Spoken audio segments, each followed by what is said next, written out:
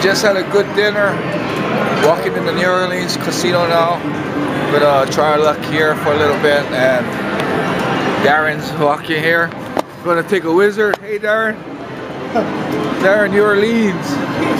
And we got Jumanji here. Yeah, he got wine again. Mine is. New Orleans Casino, check it out.